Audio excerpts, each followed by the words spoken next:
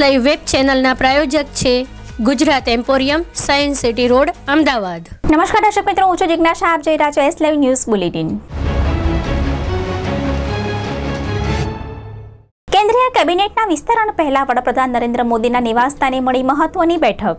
વડાપ્રધાન નરેન્દ્ર મોદીના નેતૃત્વવાળા કેન્દ્રીય મંત્રીમંડળનું આજે સાંજે છ કલાકે વિસ્તરણ થવાનું નક્કી છે. ત્યારે સતત બીજી વાર સત્તામાં આવેલી મોદી સરકારમાં કેબિનેટનો આ પહેલો ફેરબદલ અને વિસ્તરણ હશે. નવા મંત્રીઓના શપથ ગ્રહણ સમારોહ કોરોના પ્રોટોકોલને ધ્યાનમાં રાખીને રાષ્ટ્રપતિ ભવન અશોક હોલમાં યોજાનાર છે. ત્યારે કેબિનેટના વિસ્તરણ પહેલા વડાપ્રધાન નરેન્દ્ર મોદીના નિવાસસ્થાને આજે સવારે એક ખાસ મહત્વની બેઠક યોજાઈ હતી.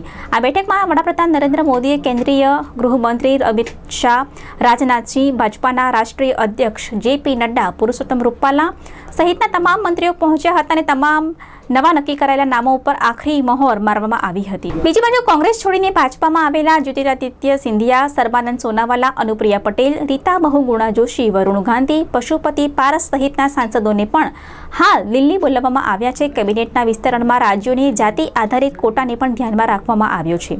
નવી કેબિનેટમાં ઓબીસીનું સૌથી વધુ પ્રતિનિધિત્વ હશે. આ ઉપરાંત એસસી અને એસટી કોટાના દસ દસ મંત્રીઓને પણ કેબિનેટમાં સ્થાન આપવામાં આવે તેવી પ્રબળ શક્યતાઓ છે.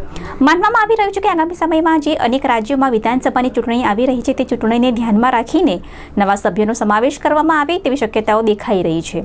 ગુજરાતમાંથી પણ ભાજપાના પ્રદેશ પ્રમુખ સી આર પાટીલ, અમદાવાદના સાંસદ ડોક્ટર કિરીટ સોલંકી, બનાસકાંઠાના સાંસદ પરબત પટેલ અને ભાવનગરના સાંસદ ડોક્ટર ભારતીબેન શિયાળનું પણ નામ ચર્ચાઈ રહ્યું છે. વડાપ્રધાન નરેન્દ્ર મોદી હાલમાં અનેક મંત્રીઓથી નારાજ પણ છે તેવી ચર્ચાઓ ચાલી રહી છે, જેથી તેમને બરતરફ કરવામાં આવે તેવું પણ દેખાઈ રહ્યું છે. હવે જોવાનું એ રહેશે કે આજે સાંજે થનાર કેબિનેટ વિસ્તરણમાં કયા કયા નવા ચહેરાઓને સ્થાન આપવામાં આવશે. તો આ હતું અત્યારનું બુલેટિન. મને હાલ આપો રજા. જતા રહો એસ લાઈવ નમસ્કાર.